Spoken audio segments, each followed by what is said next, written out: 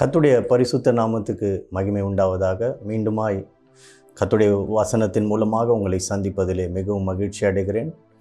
Blessed life ministry மூலமாக நான் கத்துடைய வார்த்தை உங்கள் மத்தியிலே பகரவிருக்கிறேன். கத்தர் உங்களை சந்திப்பாராக. கத்துடைய வார்த்தையிலே வல்லமை உண்டு. கத்துடைய வார்த்தையிலே அதிகாரம் உண்டு. கத்துடைய வார்த்தையிலே ஆசீர்வாதங்கள் உண்டு. கத்துடைய வார்த்தையிலே ரட்சிப்பு உண்டு. கத்துடைய வார்த்தையிலே சமாதானம் உண்டு. கத்துடைய வார்த்தையிலே அற்புதங்கள் உண்டு. கத்துடைய வார்த்தையிலே அதிசயங்கள் உண்டு. கத்துடைய வார்த்தையிலே விடுதலை உண்டு. எனக்கு அருமையானவர்களே இந்த நாளிலும் விசேஷித்த செய்தியின் தலைப்பில் நாம் கத்துடைய வேத வசனத்தை தியானிப்போம். இஸ்ரேவேலும் ஈரான் தேசமும் என்ற தலைப்பிலே நாம் இன்றைக்கு செய்தி பார்ப்போம். இஸ்ரவேலருக்கும் ஈரான் தேசத்தாருக்கும் அநேக போர்கள் நடந்து கொண்டே இருக்கிறது. போர் சண்டை மறைமுகமான போர் சண்டை நடந்து கொண்டே இருக்குது செய்தித்தாளிலே நாம் அநேக செய்திகளை பார்க்கிறோம். ஈரான் தேசம் பாலஸ்தீனருக்கு உறுதுணையாக இருந்து அவர்களுக்கு சப்போர்ட் செய்து தீவிரவாத இயக்கமாகிய எஸ்போலா ஹூதி போன்ற ஹாமாஸ் போன்ற அமைப்புகளோடு சார்ந்து இஸ்ரேலுக்கு விரோதமாய் மறைமுகமான போர் செய்கிறதை நாம் பார்க்கிறோம். இதற்கு பின்னணியாய் பல காரியங்கள் இருக்கிறது. ஆனால் இந்த ஈரான் ஈரானியர்கள் எப்படிப்பட்டவர்கள் எந்த தேசத்தார்கள் அவருடைய பூர்வீகம் என்ன அவருடைய கடந்த கால வாழ்க்கை என்ன இப்போது நடந்து கொண்டிருக்கிறது என்ன கடைசி காலத்தில் என்ன நடக்கும் என்பதை குறித்து வேதத்தின் அடிப்படையில் நாம் பார்ப்போம். ஆதியாகும் புத்தகம் பதினாலாம் அதிகாரம் ஒன்பதாம் வசனம் சொல்லுகிறது ஏலாமின் ராஜாவாகிய கெதோ கெதர்லாகோ மேரோடும் என்று அந்த வசனம் சொல்லுகிறது. ஈரானியர்கள் பூர்வ காலத்தில் ஏலாமியர்கள் ஆண்ட அந்த நாட்டை உடையவர்களாக இருந்தார்கள். கடைசி கால அந்த ஒரு சில காலகட்டத்தில் ஏலாமியர்கள் மற்ற நாடுகள்லாம் சேர்ந்தது தான் பெர்ஷிய நாடாக மாறியது. ஆனால் இந்த ஏழாமியர்களை குறித்து ஆதியாகும் புத்தகத்தில் நம்ம பார்க்கிறோம் பிரியமானவர்களே. எரேமியா புத்தகம் நாற்பத்தி ஒன்பதாம் அதிகாரம் முப்பத்தி நாலு முதல் முப்பத்தி ஒன்பதாம் வசனம் வர வாசித்து பார்த்தீங்கன்னா சேனைகளின் கர்த்தர் சொல்லுகிறது என்னவென்றால் இதோ நான் ஏழாமின் வில்லென்னும் அவளுடைய பிரதான வல்லமையை முறித்து போட்டு வானத்தின் நாலு திசைகளிலிருந்து நாலு காற்றுகளை ஏழாமின் மேல் வரப்பண்ணி அவர்களை இந்த எல்லா திசைகளிலும் சிதறடிப்பேன்.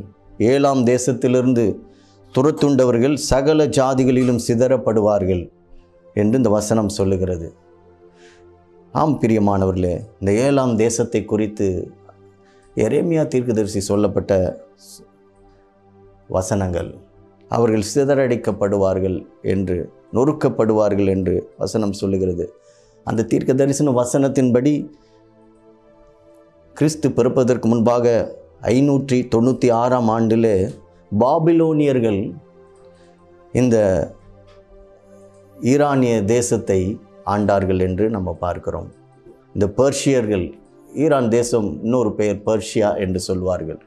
பெர்ஷியா நாட்டை அவர்கள் ஆண்டார்கள் என்று பார்க்கிறோம் பிரியமானவர்களே. அதே கோரேஸ் ராஜா அவர் அந்த கைப்பற்றின போது பெர்ஷியா ராஜ்யத்தை கைப்பற்றின போது பெர்சிய ராஜ்யம் விஸ்தாரமாக இருந்தது. அநேக நாடுகளை கோரேஸ் ராஜா ஆண்டான். இந்த கோரேஸ் ராஜா தான் இஸ்ரேல் ஜனங்கள் அடிமைத்தனத்திலிருந்து அவர்கள் அடிமையாக இருக்கும்போது அவர்களுக்கு அவர் மீது இரக்கம் பாராட்டி ஏசியா தீர்க்கதரிசி சொன்னது போல அவர்கள் போய் ஆலயத்தை கட்ட அவர்களுக்கு வேண்டிய உபகரணங்களை கொடுத்து பொண்ணும் வெளியும் கொடுத்து அது மாத்திரமல்ல எல்லாருக்கும் எல்லா பிரதிநிதிகளுக்கும் பிரபுக்களுக்கும் கட்டளையிட்டான் என்று நாம் பார்க்கிறோம். கோரேஸ் ராஜா இஸ்ரேல் ஜனங்களின் பட்சமாக இருந்தான் என்று பார்க்கிறோம். இதே பர்ஷியா ராஜ்யம் ராஜாகம் குத்தை குறித்து தானியல் புத்தகத்தில் நாம் பார்க்கிறோம். எட்டாம் அதிகாரம் ரெண்டாம் வசனத்தில் தரிசனத்திலே நான் கண்டது என்னவென்றால் நான் பார்க்கையில் ஏழாம் தேசத்தில் உள்ள சூசான் அரண்மனையில் இருந்தேன். அங்கே நான் ஊலா என்று மாற்றங்கரையிலே இருந்ததாக தரிசனத்தில் கண்டேன் என்று வசனம் சொல்லுகிறது. இந்த சூசான் அரண்மனை வேறு எங்கும் இல்லை ஈரான் தேசத்தில் இருக்கிறது பிரியமானவர்களே. இப்போது சூசா என்று கூப்பிடுகிறார்கள். அந்த சூசான் அரண்மனை குறித்து தானியல் தீர்க்கதரிசி எட்டாம் அதிகாரத்தில் தீர்க்க தரிசனமாய் உரைக்கிறார் பிரியமானவர்களே. அதே சூசான் அரண்மனையை குறித்து தான் எஸ்தர் புத்தகத்தில் பார்க்கிறோம். எஸ்தர் ராஜாத்தி அந்த சூசான் அரண்மனையில் தான் இருந்தார்கள். எஸ்தர் ராஜாத்தி ஒரு யூத பெண்மணியாக இருந்தான். முர்தேகாயால் வளர்க்கப்பட்ட ஒரு பெண்மணி. எஸ்தர் புத்தகம் ஒன்றாம் அதிகாரம் ரெண்டாம் வசனத்தில் சொல்லுகிறது ராஜாவாகிய ஆகாஸ்வேரு சூசான் அரண்மனையில் இருக்கிற தன் ராஜ்யத்தின் சிங்காசனத்தின் மேல் வீட்டிருந்தான் என்றது வசனம் சொல்லுகிறது. அதே நெகேமியா புத்தகம் ஒன்றாம் அதிகாரம் ஒன்றாம் வசனத்திலும் சூசான் அரண்மனை குறித்து நாம் பார்க்கிறோம் பெரியமானவர்களே இந்த பெர்ஷியா ராஜ்யம் ஒரு மிகவும் வலிமையான ராஜ்யமாக இருந்தது. இப்போ மாடர்ன் டைம்ஸில் பார்த்தீங்கன்னா ஈரான் தேசம் என்று சொல்வார்கள். ஆனால் அந்த காலகட்டத்தில் பெர்ஷியா ராஜ்யம் இதை குறித்து வேத புத்தகத்தில் அநேக இடங்களிலே சொல்லப்பட்டு இருக்கிறது இந்த பெர்ஷியா ராஜ்யம் மிகவும் விஸ்தாரமாய் வலிமையான ஒரு ராஜ்யமாய் காணப்பட்டது. ஆனால் கிரேக்க ராஜ்யம் எழும்பும்போது அலெக்சாண்டர் என்ற பெரிய அரசர் இந்த கிரேக்க ராஜ்யத்தை ஆண்டு கொண்டிருந்தார். அவர் இந்த பெர்ஷிய ராஜ்யத்தை முறியடித்து எல்லா ராஜாக்களையும் வீழ்த்தி தன்னுடைய ராஜ்யத்தை விஸ்தாரமாக்கினார் என்று சரித்திரம் கூறுகிறது பிரியமானவர்களே. இந்த தானியல் புத்தகம் எட்டாம் அதிகாரத்தில் அதை குறித்து நாம் வாசிக்கிறோம் பிரியமானவர்களே. அதன் பிறகு பார்த்தீர்கள் என்றால் இந்த ஈரான் தேசம் என்று சொல்லப்படுகிறது. அந்த தேசம் முஸ்லீம் தேசமாய் ஒரு காலகட்டத்தில் மாறுகிறது. அது இஸ்லாத்தை தழுவி தழுவிக்கொண்ட ஒரு நாடாய் மாறுகிறது. ஆயிரத்தி ஐநூற்றி ஒன்றாம் ஆண்டு இந்த ஈரான் தேசம் உருவாக்கப்படுகிறது என்று நாம் சரித்திரத்தில் பார்க்கிறோம் பிரியமானவர்களே. இந்த ஈரான் தேசம் ஒரு முஸ்லிம் நாடாக இருக்கிறது. அதே சமயத்தில் ஒரு சர்வாதிகார ஆட்சியுடைய ஒரு மத தலைவரால் ஆண்டு ஆண்டு கொள்ளப்படுகிற ஒரு நாடாய் காணப்படுகிறது பிரியமானவர்களே. ஆனால் இவர்கள் அந்த மத்திய திரைக்கடல் நாடுகளிலே அரபு நாடுகளின் மத்தியிலே ஒரு வலிமை மிகுந்த வலிமை மிகுந்த ஒரு நாடாய் தங்களை காண்பித்து கொள்ளுகிறார்கள். அது மாத்திரமல்ல தங்களை காண்பித்துக் கொள்வதற்காக இஸ்ரேல் ஜனங்க இஸ்ரேலுக்கு விரோதமாய் பல தீவிரவாத இயக்கங்களோடு இணைந்து மறைமுக போர் செய்கிறார்கள். குறிப்பாக அந்த பாலஸ்தீனியர்களுக்கு அந்த ஹாமாஸ் என்ற தீவிரவாதிகள் இருக்கிறார்கள். அதுபோல் எஸ்போலா அதே மாதிரி ஏமன் நாட்டில் ஹூதி என்ற அந்த அந்த ட்ர அந்த தீவிரவாத இயக்கங்கள் இருக்குது. இதோடு இணைந்து அவர்கள் மறைமுக போர் செய்து கொண்டு இருக்கிறார்கள். ஏனென்றால் தங்களை ஒரு வலிமையான நாடாய் காண்பிக்க வேண்டும் என்றும் அது மாத்திரமல்ல பாலஸ்தீனியருக்கு அவர்கள் உறுதுணையாக இருந்தால் துணையாக இருந்தால் மற்ற அரபு நாடுகளுடைய நேசம் கிடைக்கும் என்று பல காரியங்களை செய்து கொண்டு இருக்கிறார்கள் பிரியமானவர்களே.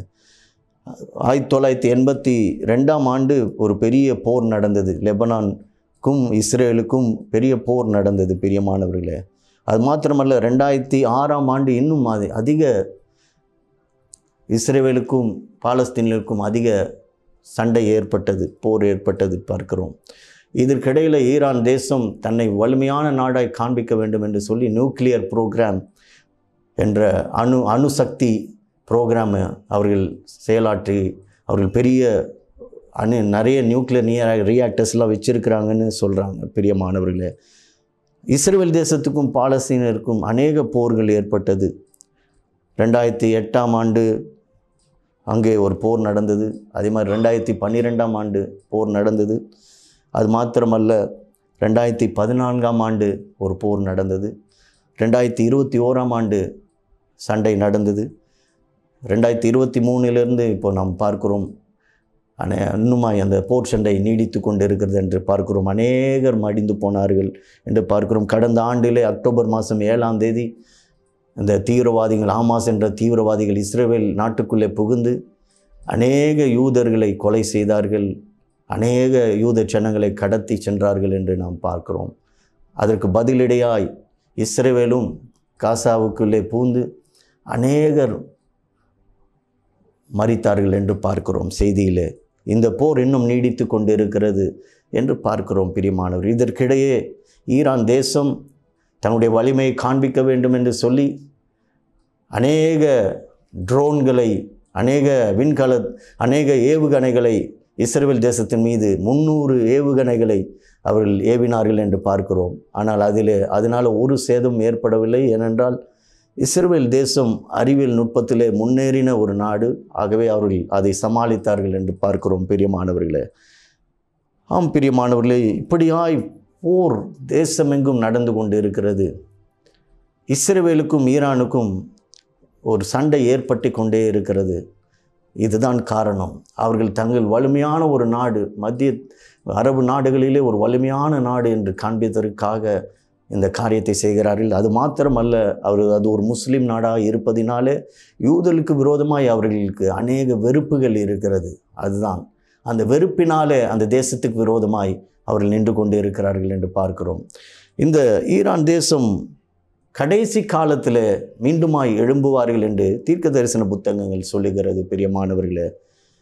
இந்த பர்ஷியா நாடு ஈரான் நாடு வருங்காலத்தில் கடைசி காலத்தில் யுத்தங்களுக்கு தயாராகும் என்று இஸ்ரேலுக்கு மிதமாய் அநேக நாடுகளோடு கூடி ரஷ்யா நாடோடு கூடி யுத்தத்துக்கு தயாராகும் என்று தீர்க்க தரிசன வசனங்கள் சொல்லுகிறது.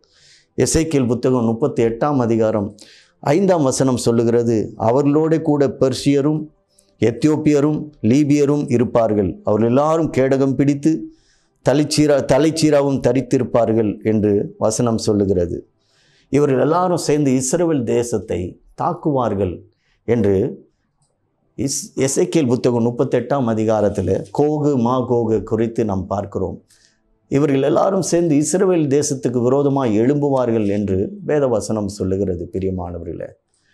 கடைசி காலத்தில் கத்தர் நியாயம் தீர்ப்பார்.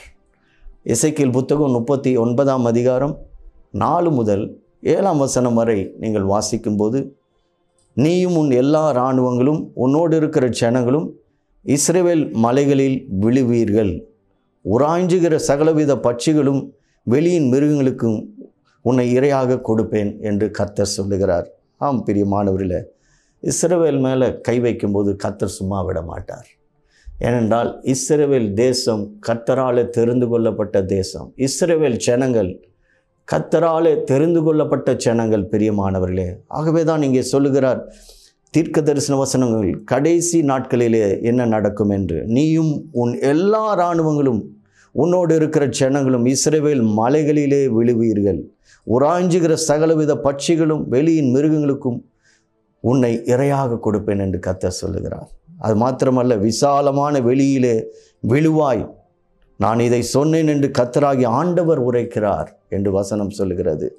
விசாலமான வெளியிலே விழுவாய் என்று வசனம் சொல்கிறது கத்தர் எப்படி அதை நடப்பிக்கப் போகிறார் என்று தெரியாது. கத்தர் ஒரு வார்த்தை சொன்னால் அவர் லக்கினால் விழுவார்கள். ஆம் பிரியமானவர்களே அவர் சங்கரிக்கப்படுவார்கள். தேவ தூதர்கள் இறங்கி எல்லாரையும் ஒரு நொடி பொழுதில் சங்கரிக்கலாம். என்ன நடக்கும் என்று தெரியாது. வேத புத்தகத்திலே அதை குறித்து விரிவாய் சொல்லப்படவில்லை. நான் மாகோகிடத்திலும் தீவுகளில் நிர்விசாரமாய் குடியிருக்கிறவரிடத்திலும் அக்கினியை அனுப்புவேன். அப்பொழுது நான் கத்தர் என்று அறிந்து கொள்வார்கள் என்று வசனம் சொல்லுகிறது. ஆம் பிரியமானவர்களே கத்தர் அக்கினி அனுப்புவார். அப்போ இது ஒரு வெளிப்படையாய் கத்தர் சொல்லுகிற காரியம். அக்கினி அனுப்பி அந்த மாகோகை கத்தர் அழித்து போடுவார். நிர்விசாரமாக இருக்கிற குடியிருக்கிற தீவுகளில் நிர்விசாரமாய் குடியிருக்கிறவர்களை கத்தர் அக்னியினாலே அழித்து போடுவார் என்று வசனம் சொல்லுகிறது. இவ்விதமாய் நான் என் ஜனமாகி இஸ்ரவேலின் நடுவிலே என் பரிசுத்த நாமத்தை இனி பரிசுத்த குலைச்சலோக்க விட மாட்டேன் ஒட்டேன் என்று வசனம் சொல்லுகிறது. ஆம். கர்த்தர் தம்முடைய நாமத்துக்காக வைராக்கியம் பாராட்டுவார் பெரியமானவரில் அதனால் நான் இஸ்ரேவேலரின் பரிசுத்தராகிய கர்த்தர் என்று புறஜாதிகள் அறிந்து கொள்வார்கள் என்று வசனம் சொல்லுகிறது. ஆம் பிரியமானவர்களே. கடைசி நாட்களிலே நடக்கப் போகிற இந்த தீர்க்க தரிசன வசனங்கள். அதிலே ஈரான் தேசத்துடைய பங்கும் இருக்கிறது இஸ்ரேல் தேசத்துடைய பங்கும் இருக்கிறது. ஆனால் கர்த்தர் இஸ்ரேல் தேச ஜனங்களுக்காக நியாயம் தீர்ப்பார் என்று கர்த்தர் சொல்லுகிறார்.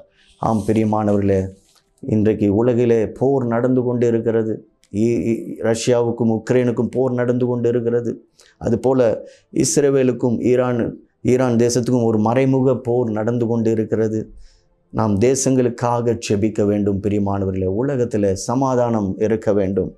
தேசங்களிலே போர் நிற்க வேண்டும் சமாதானம் பிறக்க வேண்டும். அநேக ஜனங்களுடைய கண்ணீர் தொட துடைக்கப்பட வேண்டும். அதற்காக நாம் பாரத்தோடு அனுதினமும் ஜெபி ஜெபிக்க வேண்டும். இஸ்ரேவேலுக்காக செபிக்கிறவர்களை கத்தர் நேசிக்கிறார். அலையிலூயா இஸ்ரேவேலுக்காக ஜெபிக்கிறவர்களை கத்தர் நேசிக்கிறார். அவர்கள் சுகித்திருப்பார்களாக என்று வேதவசனம் சொல்லுகிறது. ஆம் பிரியமானவர்களே இன்றைக்கு நம்ம என்னோடு கூட நீங்களும் இந்த போருக்காக நம்ம ஜெபிப்போம். இஸ்ரேல் தேசத்தில் நடக்கிற போர் அது நிற்கப்பட வேண்டும். அநேக ஜனங்கள் உயிர் இழந்திருக்கிறார்கள் பிள்ளைகளை இழந்திருக்கிறார்கள் வீடு வாசலை இழந்திருக்கிறார்கள் உணவின்றி தண்ணீரின்றி தவிக்கிறார்கள். அவளுக்காக நாம் ஜெபிப்போம் பிரியமானவர்களே. கதாவே ஸ்தோத்திர ஆண்டவரே. இஸ்ரேல் தேசத்துக்கும் ஆண்டவரே பாலஸ்தீனுக்கும் நடக்கிற போருக்காக செபிக்கிறோம். இந்த போர் ஆண்டவரே நிறுத்தும்படியாய் கத்தர் கிருபை செய்வீராக. எத்தனையோ பேர் வீடு வாசல் இன்றி மின்சாரம் இன்றி தண்ணீரின்றி கண்ணீரோடு இருக்கிறார்கள். எத்தனை பிள்ளைகள் தாய் தகப்பனை இழந்து இருக்கிறார்கள். கத்தர் ஆண்டவரே ஒரு சமாதானத்தை கொண்டு வாரும் ஆண்டவரே. இந்த போருக்கு ஒரு முடிவு கொண்டு வாரும் ஆண்டவரே. கத்தர் ஆண்டவரே அந்த மத்திய திரைக்கடல் அந்த அரபு நாடுகளின் மத்தியிலே ஒரு சமாதானத்தையும் ரட்சிப்பையும் கட்டளையிடுங்க ஆண்டவரே. என் விண்ணப்பத்தை கேட்டதற்காக நன்றி ஆண்டவரே. இஸ்ரவேலுக்காக செபிக்கிறோம் சமாதானத்தை கட்டளிடும் ரட்சிப்பை கட்டளிடும் ஆண்டவரை. எங்கள் விண்ணப்பத்தை கேட்டதற்காக நன்றி. மீட்பெரும் ரட்சகருமான இயேசு கிறிஸ்து மூலம் விண்ணப்பத்தை ஏறெடுக்கிறோம். எங்கள் ஜீவனுள்ள நல்ல பிதாவே ஆமென். ஆம் பிரியமானவர்களே இந்த செய்தி உங்களுக்கு பிரயோஜனமாக இருக்கும் என்று நம்புகிறேன். உடைய தனிப்பட்ட செபத்தில் இஸ்ரேவேலுக்காக செபியுங்கள் சமாதானத்துக்காக செபியுங்கள். கத்தர் உங்களை ஆசிர்வதிப்பராக. ஸ்க்ரீனில் போடப்பட்ட மொபைல் நம்பர் மூலமாக என்னோடு கூட தொடர்பு கொள்ளுங்கள். நான் உங்களுக்காக பாரத்தோடு செபிக்க விரும்புகிறேன். கத்தர் உங்களை ஆசிர்வதிப்பாராக. மீண்டுமாய் அடுத்த செய்தியிலே சந்திப்போம். நன்றி.